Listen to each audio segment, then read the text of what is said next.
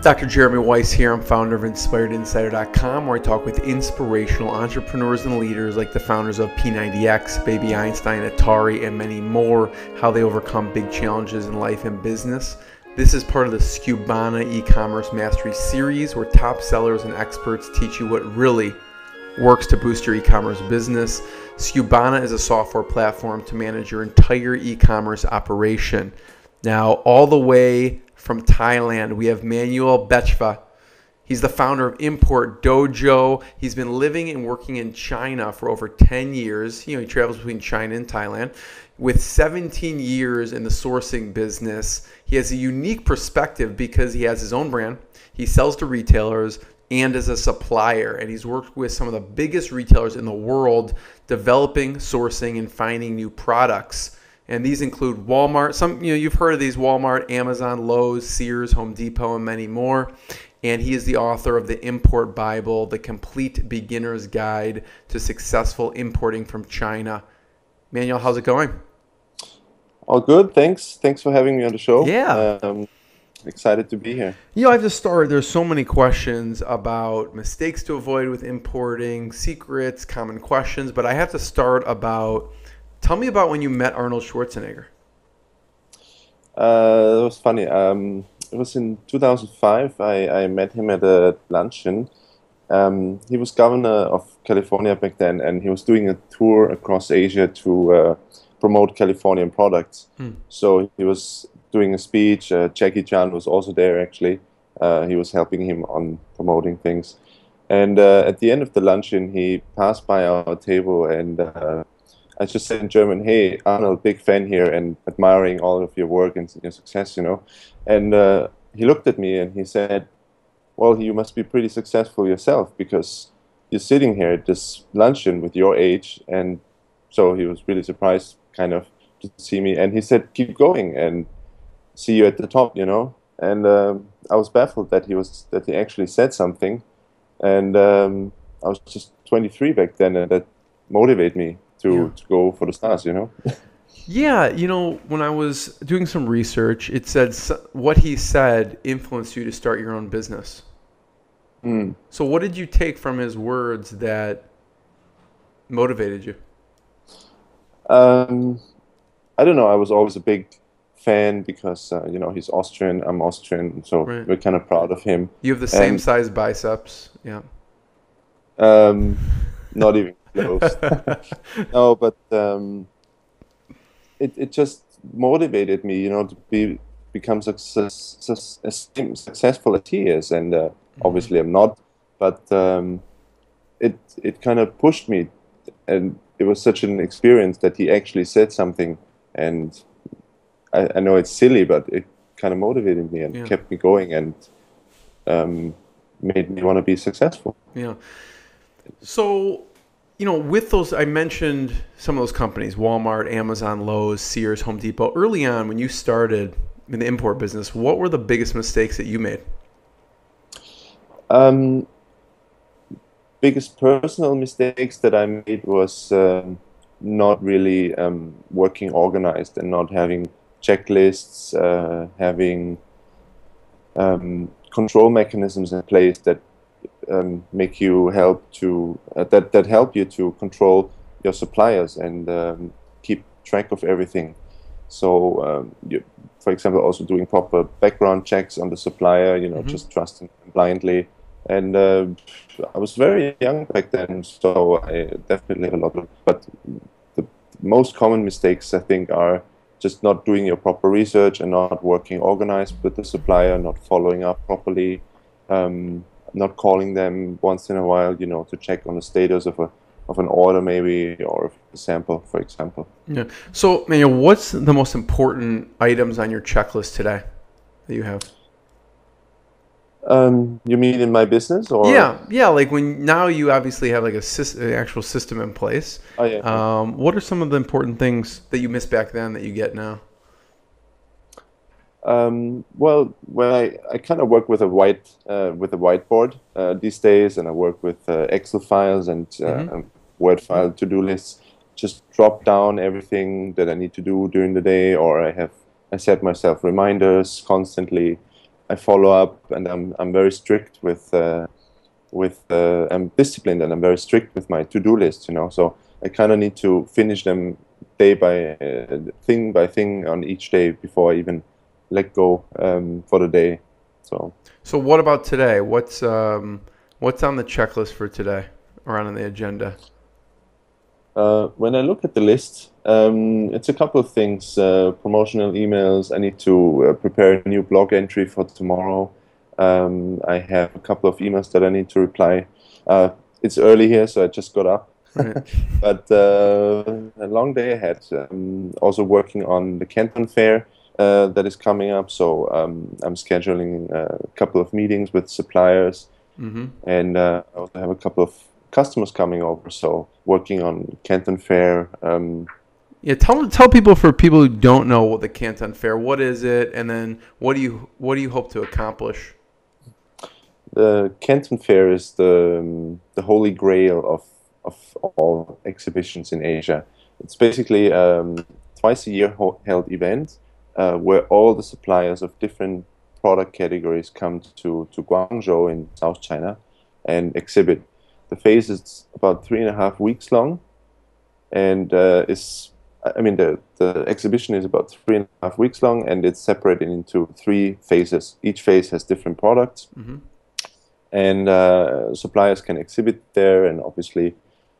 Uh, buyers can come and, and visit and see the samples at the booth and talk to the suppliers directly, do a research, and uh, find new suppliers and products. That's basically. So, it. how many years have you been going to this? Uh, since I arrived, that was 2005, so oh. about 10 years. Yeah. It's twice a year. I don't go every time, uh, twice. Sometimes I just go to the one in the in April. Sometimes mm. I go to in October. So, tell me, throughout the years, what are some of the big trends you've seen and the biggest surprises with either products or materials or what's going on? Uh, at the show itself? Yeah. You mean? Yeah. Um, it's not really that you see trends, big trends or surprises there. The the real trends and surprises are at the CES in, in Las Vegas or uh, at the CeBIT in, in Germany. Um, there's a couple of electronic shows, for example, in Hong Kong also, where you really see trends. The Canton Fair is really just like a big bazaar where you can go and find a supplier that you need for a specific product. Um, actually that is a surprise to most buyers when they first come. They expect a lot of uh, new items and a lot of trends, but that is definitely not happening there. Um, what you can find is common bread and butter products, and and that's about it. And good suppliers. I'm not saying they're not good suppliers, but you won't find they're reputable. Yeah, they're reputable and um, um, trustworthy. Most of them. It's just nothing new there. You know, just so how sourcing. many people? What percentage of the people? Obviously, I know that um, you're kind of a thought leader in this space with the, you know, the import Bible, and you have um, students. What percentage of your students do you tell them you need to get here? You need to come to this live and in person. The ones that are that are advanced, that for example have like two or three products running already. Mm-hmm. Um, we're talking Amazon, yeah. uh, or even if they're a small importer already and they're selling let's say, successfully for a couple of months, and they may be stuck with their existing supplier or they're just tired of looking only online and um, yeah, people in general who are interested to really push their business, get better prices, meet the suppliers directly, I recommend them to to come to the fairs.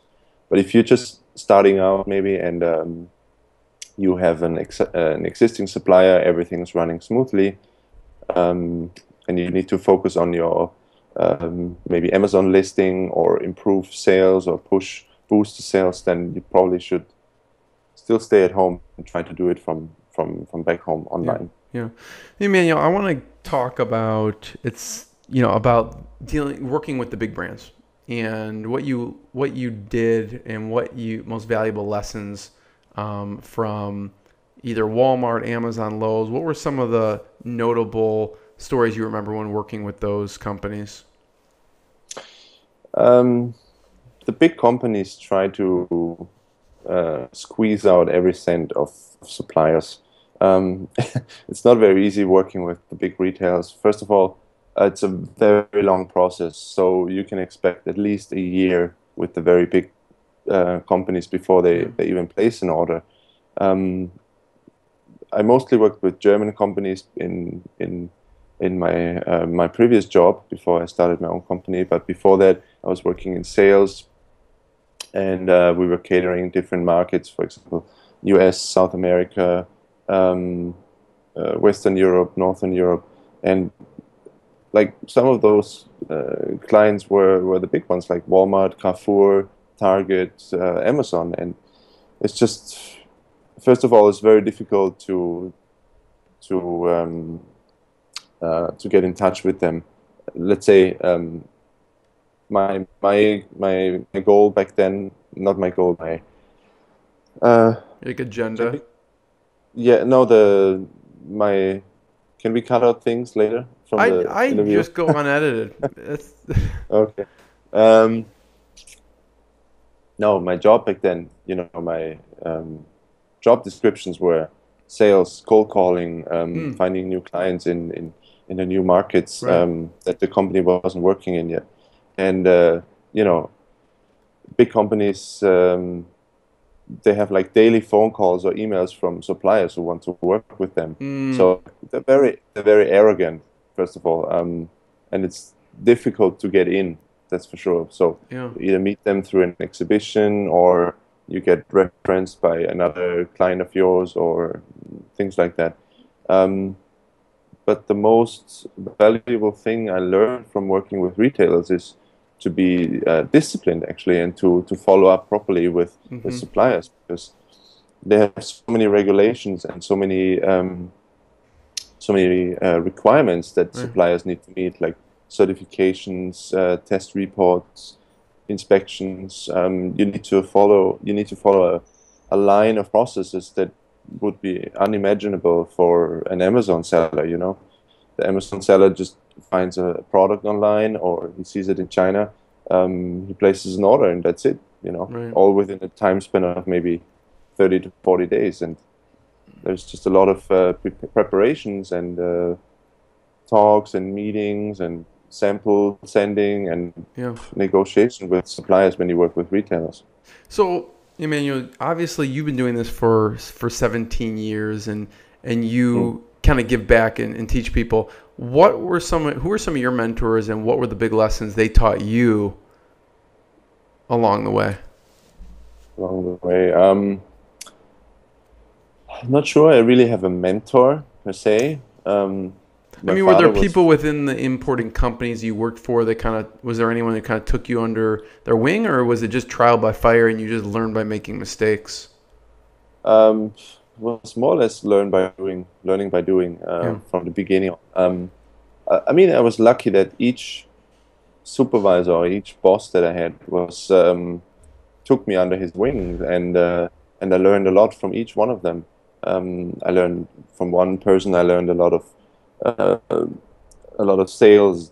Then in the other company I worked for, uh, I learned a lot about manufacturing processes itself. You know, like uh, metal stamping, designing, engineering, and so on. Mm-hmm. And then the last boss was he was not uh, he was not the best boss, but he was um, uh, he was very dedicated to his products, and uh, he also backed me up a lot when when I made a mistake mm-hmm. or he, he taught me a lot of lessons to be dedicated to your product, to to focus on your clients, and uh, not ever trust suppliers.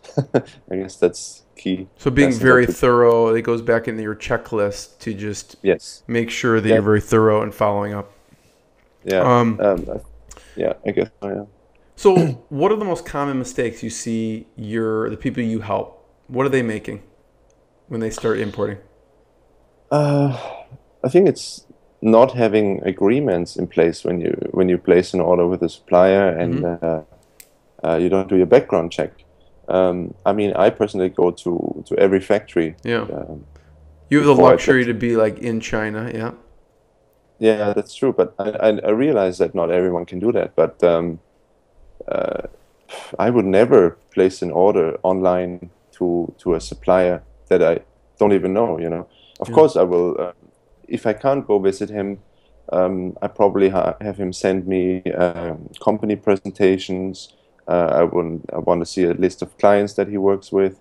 Um, I probably send an inspector inspector to their to factory before before I place an order. I mean, I'm not sending inspectors to, to every factory, or, or I don't go to every factory before I place an order. Just before I really place an order, I need to be absolutely sure through thorough background checks, um, uh, having either visited or sending an inspector there, or I'm absolutely sure because they got a lot of references from other clients, something like that.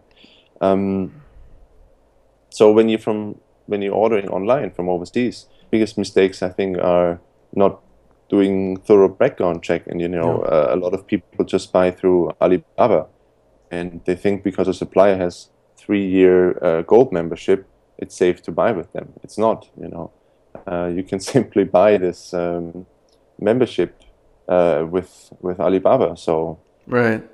do your background checks on on suppliers and be thorough. What agreements should people have in place? Um, I usually have a an um, a buying agreement. Um, it's it's like a word file, couple of pages. I don't do it with with every supplier um, that he has to sign it. It's got a couple of terms in there, like what happens if there's late shipment uh, or there, if there is any damage to the product through the during the transport. Right. So um, You're protected. I have to. Yeah, yeah, I have, I'm sort of protected, but um, nothing happened so far. But um, Knock on wood. sort of protected yeah um, but i don't do that with every factory for example if i only have small order of two three four five hundred pieces and the total order amount is even below 2000 us dollar i'd probably um, just you know make sure that everything is very clear in the email that um, i give him bullet points what happened if there is late shipment uh, i tell him probably that there will be an inspection um, that I pay for, but if, if there is any mistake during the order, he has to pay for it, and so on. So, yeah, just list it in, in the email when you send the, the supplier the order. Yeah. And you know, Manuel, I was reading one of your posts, and what's interesting, what you do is you make improvements to current products um, that the, the suppliers have. You know, whether it's design or function. And a question that comes to mind is so, how do you keep them from rolling out and copying the improvements? Because, oh, yeah, Manuel, this is great. Let's just roll this out to other customers. Let's sell it. So, how do you handle copies um, or patents or things like that? How should people navigate that? Ah, it's difficult. Um, obviously, or hopefully, the supplier will never use your packaging, for example. Yeah. Um, for my brand Mandarin Gear, uh, I have my own packaging, and I trust that the supplier will not use my packaging. That is one point. Uh, mostly they can't anyway because they don't have the, the file to edit it. That's on my side. Uh, in terms of design, it's it's the supplier's design. Like you said, I'll I'll just take their design and change maybe the the outlook. For example, I have this um, tablet speaker here. Uh, when I first saw it, it was um, shiny plastic. You know, uh, sound was like really bad. Uh, it was like two watt, something like that, and the battery was um, only lasting for two hours. I mean, it was cheap. So I took the product. Um, I changed the finishing into the rubber finishing that it is now.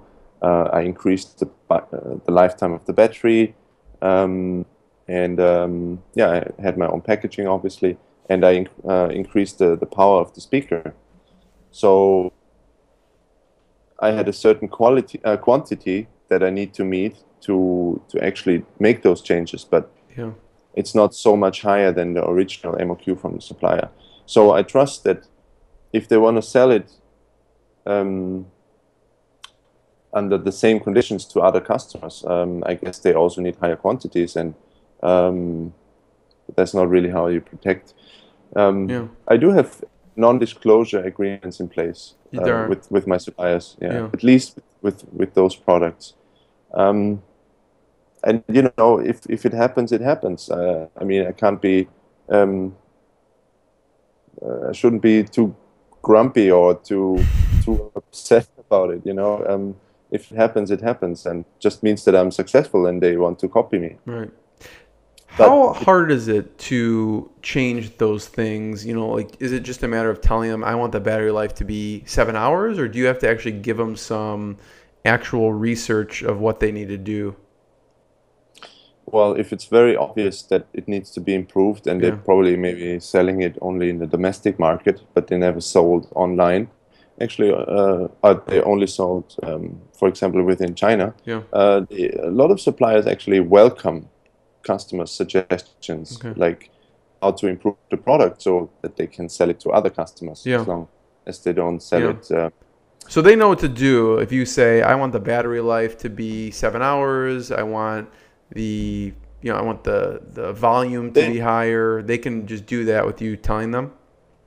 they they do that. They Yeah. know that, and uh, if they don't, move on. You know, find a new supplier because Mm-hmm. then it means it's either a pure trading company. They don't have any engineers, or they don't have the the means to to improve the product, or Yeah. they're not willing. You know, and if they're not even willing in the first few stages of discussing an order to improve the product, You know. um, how is the relationship going to be when you work with them? Actually, you know, and so move on, find a new supplier. Yeah. Man, you know what? You said something really interesting, which I never thought about, which is if you're dealing with uh, a factory, a manufacturer, to send an inspector there, because I think people that makes sense actually for people even doing business in the U.S. You can't just hop on a plane all the time if you're you know cross from one's in New York and one the office is in California. What do you tell the inspector to look for, and what kind of person uh, if someone wants to find an inspector, what do you look up to uh, have someone go to the facility? Um, well, basically, um, I work a lot with uh, Asia inspection. Um, you can book everything online. Uh, they give uh, it's a very clear process. I think I go through it also on my blog, um, and you can tell them, you know, um, for example, if I know that, that the, the product has problems, um, maybe on the packaging because it's very thin, or um, or the supplier has told me there is some issue, or maybe I read a bad review on Amazon about what is not good about the product, you know, Mhm. then I probably tell the inspector right. uh, I mean, I will tell him right away that these points are the ones he has to focus on. But on the other hand, um, when they send an inspector, uh, they actually always use someone who is specialized in that category. So, for example, if Mm. you have a production of T-shirts, the inspection company is not going to send one who who is very experienced in electronics. You know, they're going to send one who's experienced in, in textiles. Yeah, that makes sense. And then I don't know if you find this. Is there the same type of service in the U.S. or is it just more like an Asian inspection? Um, you mean from that particular company, or No, yeah, from that company, or like if someone's looking to do the same thing for U.S. manufacturers. Uh, I, I- I think Asia Inspection does a lot um, within Asia, like Turkey, Mm-hmm. uh, India, Vietnam, Cambodia, Mhm. China, and so on. Um, I don't know any company in the US, to be honest. Yeah. I'm pretty sure that Well, you're some. the import dojo, so you don't have to. But um, so you mentioned some common mistakes. You know, background check agreements. Um, you know, getting that inspected. What else do? What other mistakes do you see people making?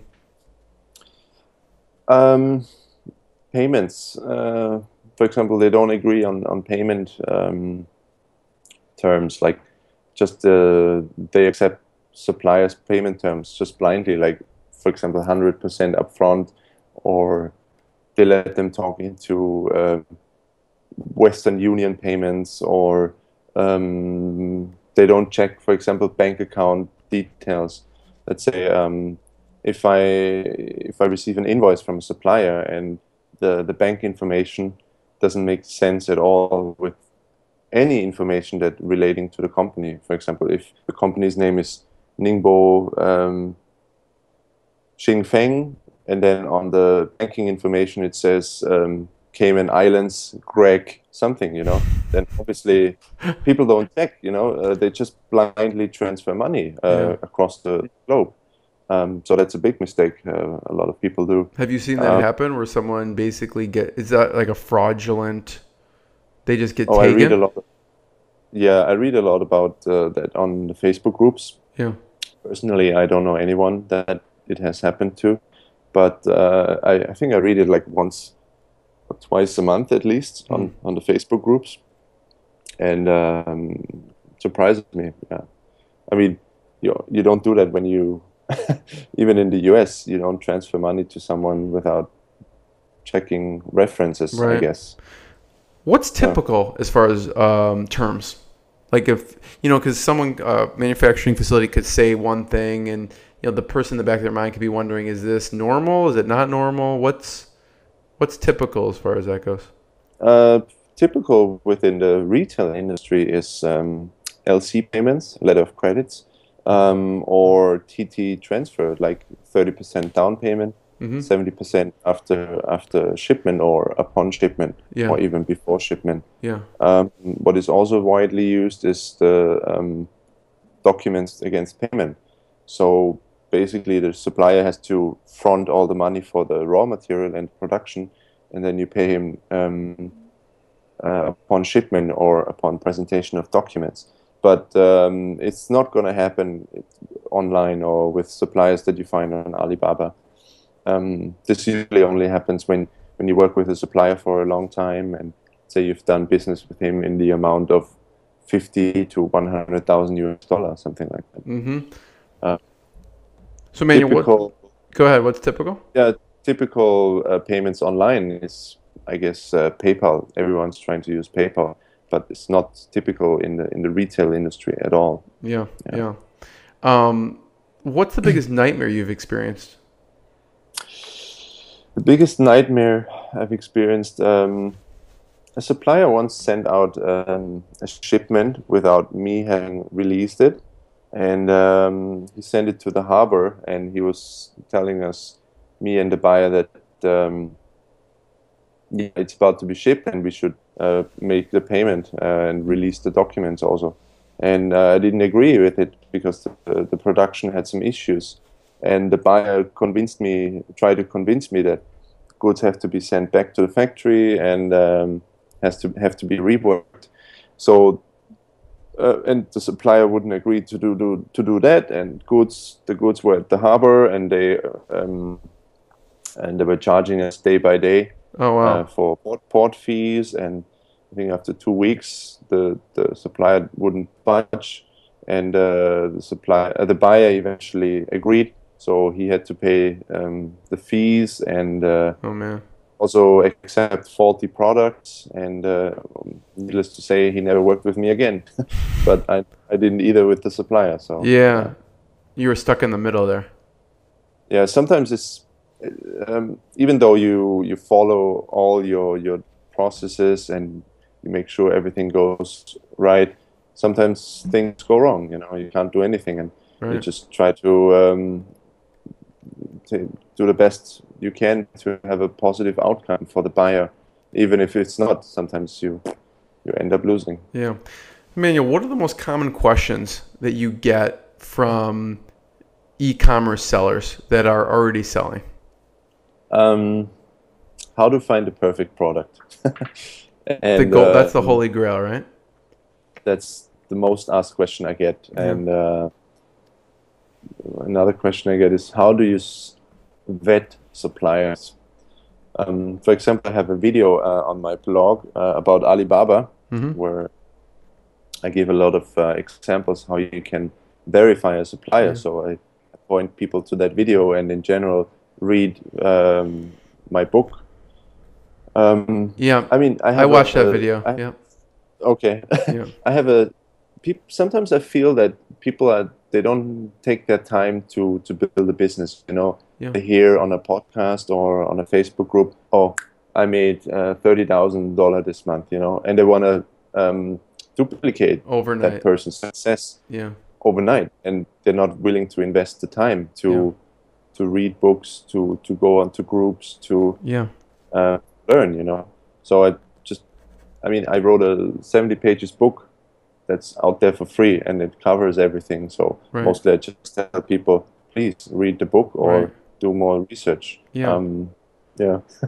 People want the shortcut. they want a shortcut, Yeah. and there's no get rich quick scheme in this industry. So Right. you got to learn. So on that on that sense, Manuel. So what resources do you recommend? Obviously, the Import Bible. You know, you have that free. I mean, there's other uh, blog posts that you put out there. What other resources out there should people be looking at to get the information to start to build their business? Um, there's a couple of, of other blogs from other people. Um, for example, Ryan's FBA journey. Um, then, of course, there's the the amazing seller. He covers a lot on um, on the on the FBA process, and um, he's got some good resources. I think uh, over 100 episodes right now. Mhm. Um, then, for example, Global Sources has an educational blog uh, that's called Smart so no China's ChinaSmartSourcing.com Mm-hmm. or SmartChinaSourcing.com. Anyway, it's on Global Yeah. Sources. It's an entire page full of tutorials, videos, um, texts, PDFs. You're on their you're on their website also. Yes, I've Yeah. recently started blogging for them Yeah. also, or they take my posts and then blog reblog. Yeah. Um, what else? Um, if you Google how to import from China, for example, Well, there's then your books will come up. That's all that comes up. yeah page page two, I think. uh, but there's also online courses. I Yeah. mean, um, um, obviously I have a course, but there's other people who who have uh, equally good material. What advice do you give to people about the perfect product?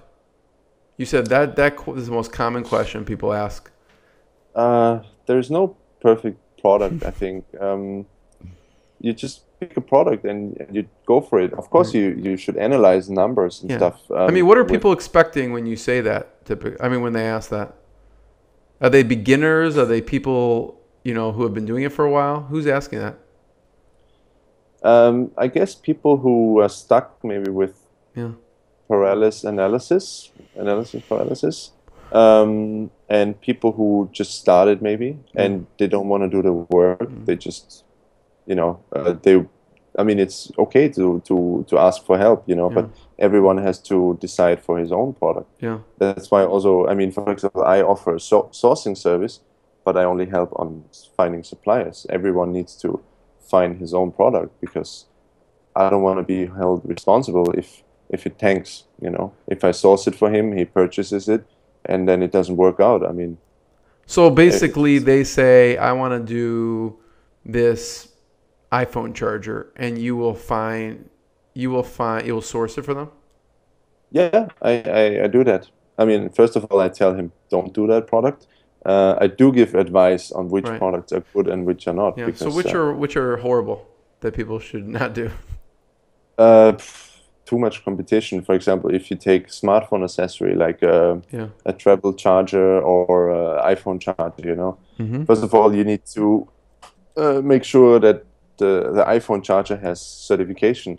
Otherwise, when when you sell it and um, Apple products actually tell you when you, uh, for example, you want to charge uh, iPhone with a very cheap uh, charger, um, iPhone I think pops up and says uh, this is not an original. I don't remember the exact Mm. pop up, but it says this software may not be um, compatible. So that's because the supplier doesn't have certification Mhm. and they're not allowed to to sell Apple products. Yeah. So that's the first thing I would tell them. Um, I, I would probably give advice and say, okay, look, there is a lot of competition, or um, you need certain certification. Um, So what are some other products. products you steer people away from? Uh, if they're starting out, maybe um, anything related to to drugs, like uh, medical products or supplementary products, uh, dietary products, um, baby products like baby accessory, like Mhm. um, uh, uh, I don't know, uh, baby bottles, something like that, or Why? Why do you tell them to steer away from that? it's highly regulated uh, Mm. in the U.S. Um, you know, the product does not uh, does not is not allowed to contain any chemicals that could cause skin irritation on a baby. Right. Um, it needs to have FDA certification. Um, so these are very uh, highly sensitive products. yeah. Um, I'd, I'd ask them to stay away. Very easy products could be household items, um, sometimes textiles, uh, decorative items like maybe seasonal products for Christmas. You know, just some decorative items. Um, those are simple, easy products for gardening or uh, lawn and gardening products. Mm-hmm. Um, some some tools could be easy products. Yeah. Health and, and medicine uh, are difficult, and they're also ungated. Because of regulatory, is that why you tell people to steer away from them? Yeah, and um, I, I, I- want them to, to learn the process first and not dive into the most difficult um, categories right away. Yeah. So what um trends since you do, you know, a little bit of everything the sourcing too, what trends should people be looking into as far as categories go for you know, obviously there's no perfect product, but maybe there's like a, you're seeing a upward trend of a particular category that people should look into. Um, I mean, electronics are uh, uh, coming more and more, you know, and um, you don't see trends within the household industry. Um, you see trends in, in consumer electronics. Mm-hmm. or um, I mean, what I suggest is go look onto Kickstarter and Yeah. look at most trending products, and then you'll see which categories are most trending, and it's usually electronics. Right. So look into electronics. I know that a lot of people say stay away from electronics, but Yeah. if you follow regulations, if you have certifications from suppliers, Yeah. go for it because the margins are one of the best out there. Yeah. Um, I, I sell electronics and I don't have a problem. Right. I mean, Talk about that for a second, Manuel. So Mandarin Gear, um, what was your first product? uh, I didn't really create any product. Like like I said, I, I took existing items and then I improved them, put them into packaging, and sell them to to retailers. Right. Um, but my first product that I sold was um, um, a, a Bluetooth speaker. Yeah, a Bluetooth speaker. And sold what a- what made you decide to to do that? Tell me the thought process. Well, I was handling the, this product category in, in my in my last job um, before I started my own company, and uh, I saw this this item at a at a supplier when I was still working for them, and uh, you know I kept having the thought of starting my own company, and I took this item and introduced it to a buyer, and I said, uh, "Would you be interested in this item?" And uh, he said, "Yeah, sure." uh, he'd actually wanted to to purchase it. And then I think within a couple of weeks, I quit my job and started my own company. And that buyer was actually my first client. It was a retailer. I didn't sell it on Amazon. I sold it in, in the retail. And uh, yeah, I guess that product, that Bluetooth speaker, helped me to start my own company also. So I don't know if you could talk about it or not, but what kind of order does a retailer make for something like that off the bat? Uh, that particular item was 2,000 pieces. Huh. 2,000 pieces, yeah. Um, I think I made a profit of uh, $2.50 each. So there was 5,000 piece, uh, 5,000 US. That's a good Um, start. you- That's a good start. Uh, it was not my biggest profit, but um, it was a good start, yeah. So what do you Um, do from there? You know, retail obviously that's I find that most people are not doing that. They're going direct to consumer. So what are some things people should know about going to retail um, that you did and you know, with that um, how did you start to branch off from besides that retailer to other other retailers? Um, well, I collected a lot of contacts um, in the last 10 years in, Right. in Asia. And, um, uh, I kind of come from the retail industry because when I was back in Austria, I was working in retail.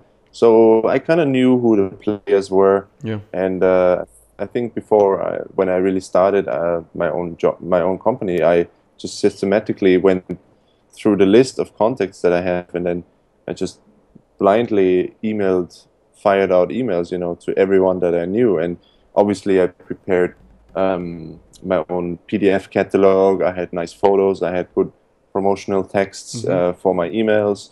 Um, so it was not day one. I'm starting, and now I'm emailing some customers. I was preparing a lot in, in terms of material. And um, you know, uh, once you send the email, you uh, you call them. A couple of days later, you call, uh, even if it's a cold call and you don't really know them. You know, you just need to follow up and be persuasive with them. Yeah. I mean, is there a particular, let's say someone's dealing in the US, is there a particular job title that people should, because like you said, the companies are so big, who do you even reach out to? Is there a particular, oh, it's the manager of product development, or is there a common job title people should be looking at? Um, well, in Europe, most of them are called. It's different sometimes. Most of them are called either buyer or head buyer Mhm. or um, head of purchasing or Simple product manager, that. Yeah. product manager, electronical division, or uh, purchasing manager. But well, you you may wanna you may wanna um, approach always the head of a division, like even if it's a buying director. Mm-hmm. If you have his contact, you know, email him and then call him. Yeah. So, Manuel, what was your next product? So you had the Bluetooth speaker. What was next? Uh, I built a whole uh, I built a whole assortment around the Bluetooth speaker, um, smartphone accessory, um, tablet speakers. Uh, what else did I have? Headphones, uh, earbuds. Uh, yeah, a- anything uh, related to Bluetooth, really. Anything with music, because um, I'm an avid uh, music. Mm. I, I love music. I need it when I work. Um, so anything relating to music, really.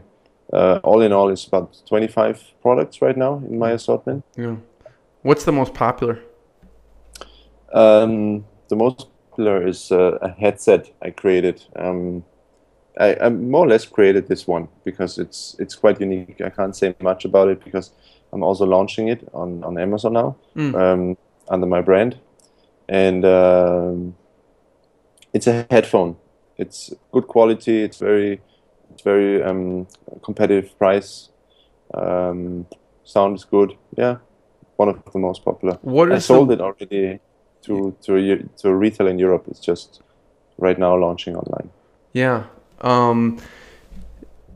For that, what's been the one that surprised you that thought you thought this is the product that's going to take off, and then it didn't do as well as you thought? Uh, was also a speaker, uh, but it was uh, or it was an existing design in the market, and it was going really well. It was um, more looked like looked like a block, but it was twisted. It looked looked like a candy speaker. Okay. and uh, I- got onto that as well. I, I changed a bit the color and the packaging, but uh, when I got into the market with my client, um, it was already saturated, saturated. and uh, yeah, so I more or less had to sell it below cost. What makes you, you know, I find too, a lot of people are very private about this stuff. You know, they do not want to tell people their name of their company. They don't want to tell people what they sell. What makes you so open? Well, for one, the products that I have on my page, Mandarin Gear, uh, they're all available uh, within the retail market, so anyone can buy them. Um, but if I have someone coming and say, oh, "Okay, I want to sell it on Amazon," and I already sell that one to a retailer in, in Europe, I don't I don't do that, you know, uh, because I then then I um, destroy my my client's price um, because anyone can buy it on Amazon now. Right. Um, other than that, I I'm not very open to what I'm selling on Amazon. Actually, I'm not telling anyone. You I aren't? I do have. Uh, no, I do have. Um, uh, I can tell you what my first product on on Amazon was, um, but that's about it. I'm still selling it, but uh, other than that, I'm not so open on my products on Amazon. But the ones I sell to retail, anyone can see. yeah. So you can talk about what the first one you put you sold on Amazon, which is what the headphones. No, no. The Oh. the first product I sold on Amazon was a, stainless steel uh, luggage tag. Um, Really? I ordered. That's yeah, random. Uh, I ordered 500 sets, um, and uh, well, the story goes like this. Um, so I was receiving mail from uh, uh, Emirates, and I got my frequent flyer card. And I was like, "Oh, that looks nice, nice, you know." And they, they got a luggage tag as well. So you get three cards. Yes. Um, one is for the wallet, two is for um, for the luggage with a um, stainless steel. uh, Yep. Yep. yeah.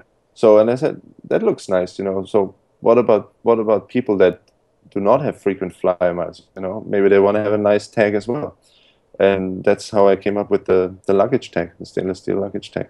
And um, I think within a few days I ordered, found a supplier. I ordered 500 pieces, and I sold them out really quickly on Amazon.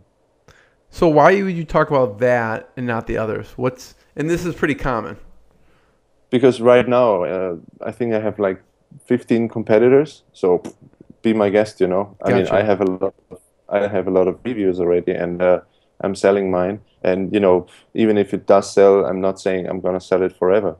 So I'm Mhm. always looking for new products, and uh, I'm always trying to expand my category into other products. Yeah. So I'm Yeah. always just curious about this secret of nature um, that I've, you know, over the past six months really experienced with people, and um, so I'm just always wondering the reason why.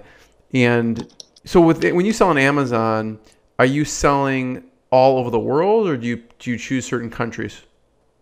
no, just .com. .com. So Um, it's easiest for me also because I'm based in Asia. yeah, Um, I'd be open to selling to, I think, UK and uh, Germany are number two and three in terms of uh, sales and customers. I'd be interested to sell there in at a later stage, but right now only .com. any other platforms you're considering or that you sell on besides Amazon? Um, there are actually a couple in Asia um, from um, Rocket Internet. It's a big German company, and uh, um, it's called uh, Lazada here. They're Mhm. all over Asia Indonesia, Thailand, Mhm. um, Vietnam, Singapore. Uh, so I've been thinking of listing there. I'm already in the process to them, but it's a lot of contracts, and it's not as easy as fulfillment by Amazon. Um, that's why I love Amazon because it's so simple for for sellers to list their. I Mm. mean, it's not simple. You have to follow rules and procedures and so on, but um, it's the most successful business out there, uh, fulfillment business. The ones in Asia are not so so easy, to be honest. But uh, there's a big market out here too. So maybe Asia next. So. Yeah. Yeah, I'll have to send you. I just talked to someone who talked a- about all the platforms. They're um, in South Africa, and they were Yeah. talking about places in Russia and that are, you know, talking some of the trends in the marketplaces. I think you'd like that. Um, and they were talking about the rocket internet also. Mm. Um, and so, you know, what do people like most? What do you find the best feedback? Either uh, a certain story from the Import Bible or uh, a certain lesson that seems to resonate most for people. I think people really like my Alibaba video, Hmm. the screencast that I made, um, but also that I, I outline step by step. Um, you know, when you when you read my book, it's really where do I start and where does the order end. Uh, obviously, then it goes to Amazon, and I don't um, uh, cover that in a book, but every import step, um, import from China step, is in the book maybe there's more details in, in each step, but Yeah. I cover really pretty much the basics that get everyone started. And just recently, I got an email that um, work from a work at home mom, you know, and she said she's been thinking about importing a long time already, and the book finally gave her the push to do it, you know, because Mhm. It sounds so easy. Obviously, it's a it's a difficult process, but um, it can be done, and um, the the fact that it's covers really the basics. I think that's what most people like about it. Yeah. So before talking to you, Manuel, I reached out to some e-commerce, um, you know, people who run e-commerce businesses. I said, "What questions do you have for the Manuel, who's an expert in import?" And some of the questions were about Chinese sellers. Those are the most common questions I got. What are Chinese sellers doing well? And well, I'll start with that. What Okay, are Chinese um, sellers doing well? I nothing in particular, to be honest. Um, the only thing they're really good at is prices. You know, they have better prices because they're Mhm. directly at the source. Um, but I don't think they do anything particularly good. I had a, a blog post about, uh, I think six weeks ago. It's called "Don't Worry About I read that. Amazon Sellers" for now. Yeah, and I think it pretty much outlines why people don't have to worry yet Yeah. because Chinese are completely different in, in their thinking and their culture, you know, when it comes to, to sales and customer service is not important for them. You know, Yeah. for for for us what is really common sense sometimes they don't even think about that.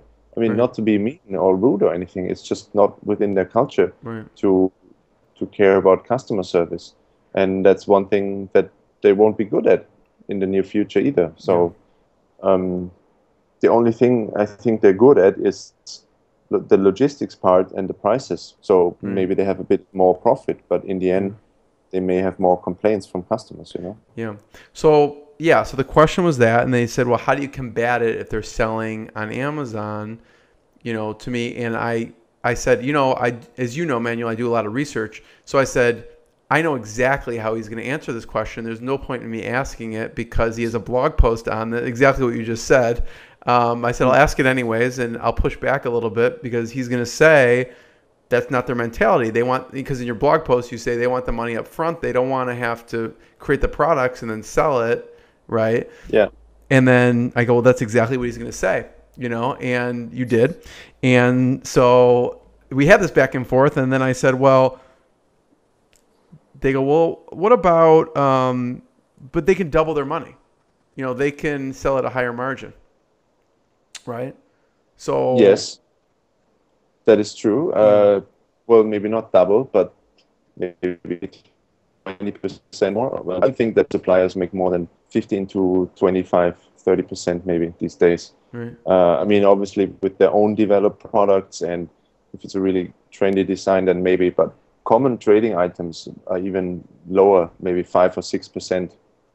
So if they're selling, if they're starting to sell a garlic press on Amazon, and maybe they're the factory directly, Right. okay, they make maybe five or six percent more than the Amazon seller in the US. So that's not really um, an advantage. Yeah. But um, yeah, I don't think they have really a big advantage.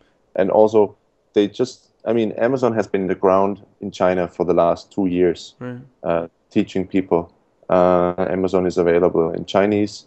Um, so yeah, it's they've been there, but it's still just in the beginning. It's like China, for example, is slowly moving into um, higher efficiency manufacturing, Mm-hmm. like Taiwan did 25 years ago. You Yeah. know, Taiwan is, for example, a, a high-end manufacturing country, Yeah. um, and China is still very, very far away from that.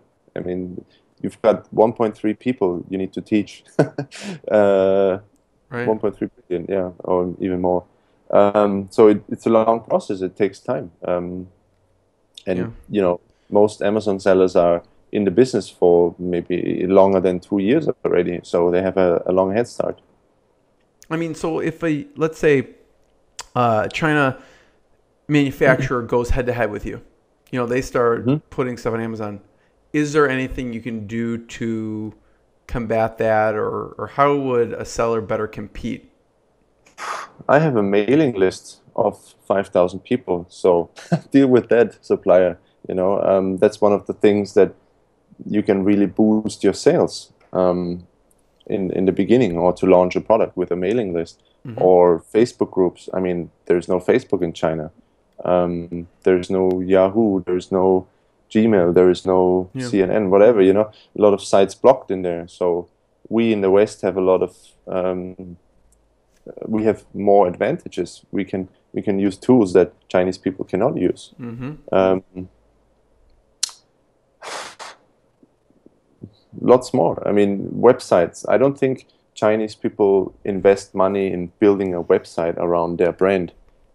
I mean, when you look at a, a Chinese factory's website, it's horrible English and um, the photos are really bad quality, and uh, we know um, we know exactly what to do to attract customers. You know, we Westerners, so I don't think it's a big issue. Yeah. At all. You know, so you know, many of your students probably sell on various platforms. What do you recommend them when they ask you, okay, you know, I want to increase sales, I want to boost sales? What do you tell them? Yeah, like I said, having a, a mailing list helps a lot. Obviously, it takes a long time to build a mailing Mhm. list. Um, well, you know, go go through the the, the usual procedures, um, like send it to friends and family. Use the review groups. Um, use Facebook groups. Um, even um, use the paid Amazon seller. Uh, the the professional Amazon reviewers. You know, there's a couple of people on there that you can approach. Obviously, you need to give it nearly for free. Um, but yeah, get social proof first, and then go heavy on PPC. Yeah. Wait for maybe 15 to 20 to 25 uh, reviews, and Yeah. then switch on PPC and go heavy on on the budget. You know, don't be shy to spend fifty dollar or obviously more a day on on on on PPC Yeah. and you know all the while if you haven't done it yet start building facebook pages um, or a fan page or start building a mailing list you know um, try to get your customers emails so you can retarget them for for your for your next product. Mm-hmm. What are some of the best practices for importing that we didn't talk about so far, Manuel? did you read my book? No just kidding. Um, best practices importing. Um, i'd say just follow the six step import process that um, that i lined out in in the book. Um, and memorize the steps um, and and you're good i think um, i mean i do cover a lot more for example in in online course that i Mhm. have um, i don't give everything away for free um, Yeah, so tell me about that actually, because you have several services you offer. What what do people come to you for? Because obviously you have the Mandarin gear, right? So you sell your own your own brand. What else? What other services do you Um, offer that people should look look you up for? Uh, I have Import Dojo. Import Dojo is Yeah. uh, is a blog Yep. where I post uh, every other week. Yep. Um, on Import Dojo, I have an online course as well uh, that focuses on importing from China. I do cover, I think, one third of the course is about Amazon, but only the basics. To be honest, I'm Right. working on a advanced module right now that I'm releasing in in November. But two thirds of the course is about importing from China because I think it's the most crucial part of the entire business. Yeah. Because Amazon, uh, I mean, it's not easy, but it's a clear process on Amazon, you know. Right. And if you follow it, you can be successful. But importing from China can be so many different scenarios, um, and you need to know how to tackle each scenario, and, and that is what I cover in the course. Yeah. Um, I also sell um, my my books on Amazon, uh, all four books that I wrote. Mm-hmm. Um, then I also have my courses on, on Udemy, where you on, on Udemy you only have the course, but on Import Dojo I give one-on-one coaching. Yeah. So I hold people's hand along the journey. I tell them um, which categories are good. I, they can email me with problems that they have with the suppliers. I have Google Hangouts with them. yeah. So it's coaching. So what about let's say I want to skip everything. I want you one on one. I want you to help with sourcing. Do they get your course or is that a separate service that they can get you for?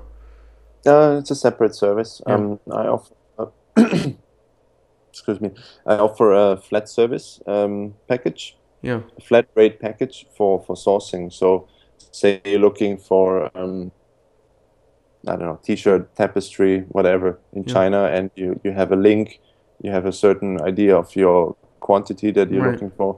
Uh, I help locating a factory. If I don't know anyone, I go look, but I don't Yeah. use the the regular channels like Alibaba or Global Sources. I use my, my contacts mostly. Yeah. What other besides Alibaba? Pe- people probably ask you this. What else? What's the next best source that people should look at online? Um, I'd say Global Sources. Mhm. Global Sources is uh, very professional. I also did a screencast recently about them. I'm not sure if you saw. Mm-hmm. And um, then there's Taobao, which is the Chinese version of Alibaba, but you Mhm. can work with Google Translate. Mm-hmm. Um, then you have epath.com, then you have madeinchina.com, Mm-hmm. um, ebuy.com, and a couple others. But you know, the the more you look out for for the other e-commerce site, the, the thinner the field gets in terms of suppliers on the sites. I mean, for example, there's AliExpress for for drop shipping, so that works well if you're looking for small quantities and low, still okay prices. But the main two sites, Alibaba, Global Sources. Yeah. What's been the biggest challenges in the business today? Um, my biggest challenge has been to, today Yeah, yeah, recently. Um, coping with capacity. Um, right now, I'm running full steam. For example, after this interview, I have the Google Hangout. Then uh, I probably have two, three hours of uh, sourcing. Then I have uh, emails um, that I have to take care of. Then uh, lots of things. Um, Mhm.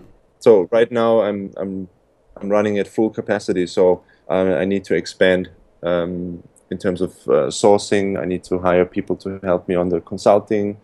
Um, and also, you know, I want to scale my, my business on Amazon. I want to grow that. So right now, I need to hire more people, more employees, more staff. So, what are you gonna do to do that?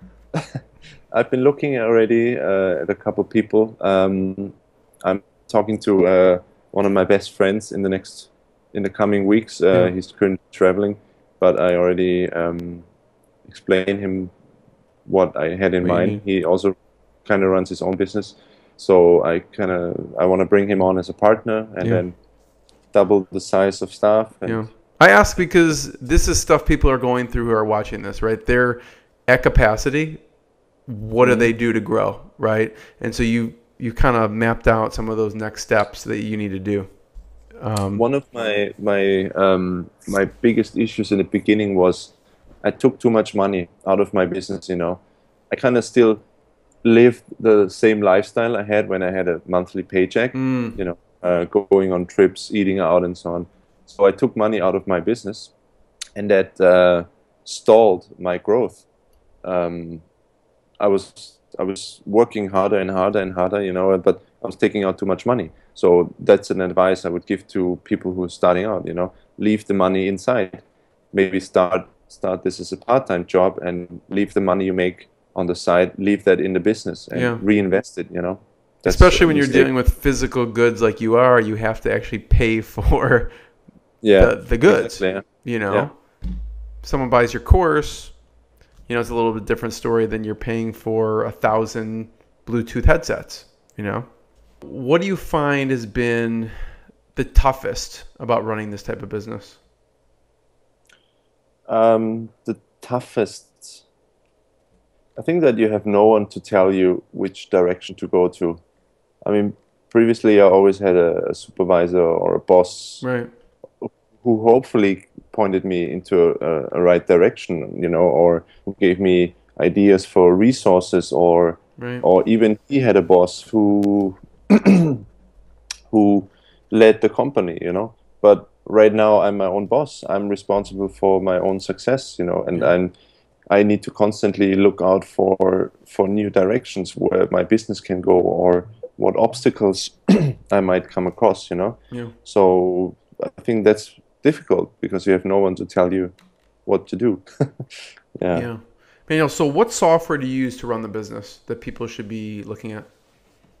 Um, personally, I to find new products, I, I use the old-fashioned way, but I do use, for example, um, Jungle Scout to to analyze Mm-hmm. uh, the numbers. Yep. Um, obviously, I use um, Microsoft Office, everything that you can use, like PowerPoint, Excel, Word, and um, I also use Wave apps for my accounting. I don't know what Uh, that is. you know- what is it? No. Uh, it's a US company. It's called, I think, wave-apps.com. How do you It's it's a software. Wave, like the Oh, wave. Wave. Wave apps. Okay. Yeah, Wave apps, and um, I use it for my invoicing, Mm. accounting, um, listing products uh, within my my system. But other than that, I don't use any software. I'm pretty old-fashioned. Yeah. What's your method for research? Like, let's say you hear Um, something. I don't, how do you generate new ideas, and then how do you actually? What's your method for researching those? Uh, I do mention it also a couple of times. Um, I use a lot of, I subscribe to a lot of um, trendy websites like um, uh, TechCrunch or um, uh, what else? Um, You were mentioning I mean- Kickstarter as one of them. Kickstarter. Yeah. Engadget, um, anything that has trendy stuff, or Yeah. I even uh, subscribe to uh, supermarkets or Mm. um, DIY stores, you know, Right. um, and then they send newsletter every week with the newest products. And there Right. you go. You know, you have a, a free list of products every other week from from different kind of categories. Right. I think that's where I get most of my That's inspiration. smart, And uh, uh, also exhibitions help. So I'm, I mean, there's uh, also local exhibitions you can go to. Um, what else? Uh, travel, uh, travel a lot as much as you can. You know, um, you might see a product that's really popular in the state next to you, that could be popular in your state as well. You know, so import it. Stuff like this. Um, yeah, like I said. So you find way. something. Let's say you get a Engadget email and you find something. Then what? What's your thought process? What's your method to actually doing the research to see if yes, I want to pursue this further? Okay, well, I probably go look on on similar websites first. For example, if uh, Engadget send me a review of a really cool gadget or really cool tool that just came out, and uh, I probably look on other competitors. For example, they say uh, Sony has just brought out the the newest, um, I don't know, digital camera. You know, I go on to maybe Panasonic or Philips or um, you know all the other big brands to see if, if they also carry it. Yeah. If the competition is small, I try to find the source. Um, if if I can't find the source, um, I probably have to do more research, back to square one. And um, you know, once I find the source, I try to get prices and maybe even try to improve the product. Obviously, I don't improve a Sony digital camera, but um, you know, get the general idea, maybe add some of your ideas, brainstorm a little bit, you know, sit down for for a couple minutes and think about could anyone actually use this product? Would people buy this product? Yeah. Stuff like that. Yeah. What about what's your opinion on, like you mentioned with Kickstarter? There's a lot of technology products. What do you recommend for as far as crowdfunding goes? Do you think it's good? It's not good? What, you know, if your students say, you know, um, Manuel, I want to go and why don't I just have the crowd pay for it ahead of time and then I'll do it? What What's your opinion on crowdsourcing sites? I think it's pretty cool. Um, a friend of mine just completed a a project for um, glasses that you can use indoors uh, when you sit a lot of in when you sit a lot of the uh, when you sit in front of the computer a lot. Sorry, uh, or when you read a lot on tablets or your smartphone. Yeah. And he did nearly three hundred thousand euro Wow. and uh, super successful. Um, and actually, I'm also working on a Kickstarter right now with, with this very same friend. Mm. Um, it's completely out of the industry that I that I actually work in. Mhm. Um, because I saw his success, I'm I was like really motivated to do it myself. Um, but maybe it's a bit easier for me than for for your listeners because um, I'm directly at the source. You know, I can find factories easy. I can go Yeah. to exhibitions. So yeah, use Kickstarter by by all means, but make sure that you can find a factory who can actually produce the product. You know, Yeah. and to to check if the um, functionality can be done in the manufacturing process. Yeah. Yeah. You know, so Manuel, since it's the Skubana e-commerce mastery series, my question, what would you say your lowest moment has been? And then on the flip side, what's been the proudest moment? Um, good question. The lowest moment, uh, it's probably happened within time span of two or three days to the best moment. Um, I think I got a um, the lowest moment was definitely uh, earlier this year. I had a cancellation of an order from a Mm. big retailer, and um, I had to cover a lot of costs with the the factory. Um, that cost me quite a couple of thousands, and um, it was like I was devastated. My whole savings were gone from the previous Wow. six to eight months that I was working on, and then like a week later, I received the biggest order yet from another retailer in in Switzerland uh, that pretty much cleared off everything again and uh, yeah kept me going. Uh, so both within a time span of a couple, I think it was within two weeks. Wow. Um, Was it the Yeah, same product? no, it's it was They a different, different. product, um, but the the first retailer he just canceled, you know, and it's a big retailer. Um, couldn't do anything, um, so I was stuck with uh, a lot of debt also in, ter- in with regards to the supplier. Yeah. And then just a couple of days later, I received a really big order with a very nice profit. That's a big fear, I think, for people going to retail is if they return it or cancel it. Definitely, yeah. Um, that's why you need to have agreements in place. I mean, I did have an agreement in place with that customer, Right. but uh, you know, they also have a contract that I needed to sign, and there's a lot of clauses in there. Right. Like basically what we signed for you is is null and void, and this overrides that or something. More, more or less like that. Yeah. Yeah. So there was no way I could get my money back. You know. So. So what do you do? Just what do you do? You just hustle and sell to another retailer, or what? Do, what do you do in that case? No, that order that I got was um, was also long time preparation. You know, I was working on that order for a long time, Yeah. and I was lucky in that case.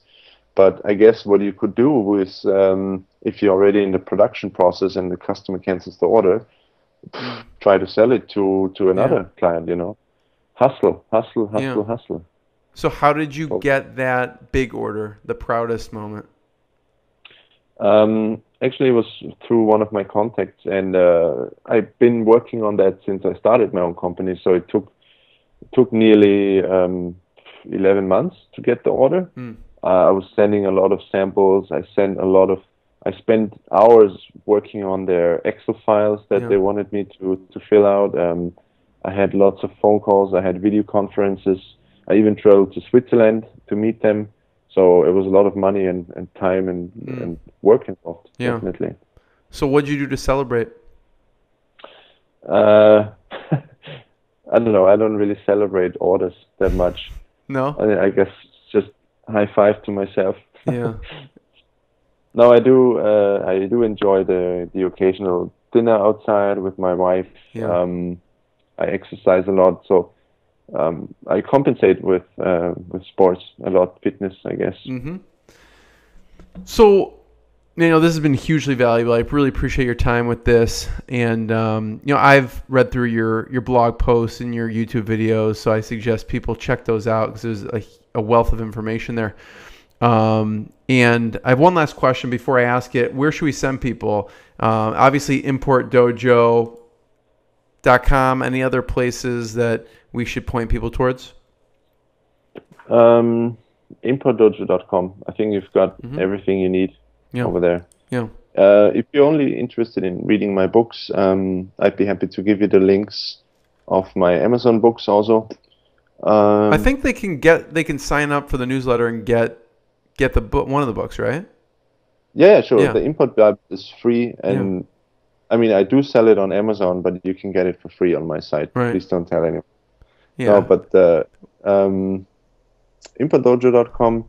Uh, if people want to learn in, in general about sourcing or exhibitions in China, go to yeah. uh, globalsources.com where you f- will find a lot of tutorials Yeah. and um, and free content. Um, yeah. yeah. So my last question, Manuel, is what are some of your best business and product ideas that people should steal because you are not going to use them? Because you're just at capacity. Okay. Um, go into, um, I think I've said it before, go into um, what's it called? Um, you talking about website or? Uh... No, no, no. Uh, I'm talking about products. Um, virtual reality. Sorry, virtual reality. Anything with virtual reality, I think it's it's a big deal, and mm. uh, I see a lot of suppliers now trying to develop, but they have no idea um, because there is no um, uh, there is no guideline or anywhere from from the industry. So that would be an industry I think is really worth investing mm. your time in. I, I would, I'd love to, but I have no time. And um, other than that, not sure, not sure. I why would I want to give it away? no, but um, virtual reality. All right. Virtual reality. All right. Yeah. Check out importdojo.com, Manuel. Thank you so much. I really appreciate it. No problem. Thanks a lot for having me.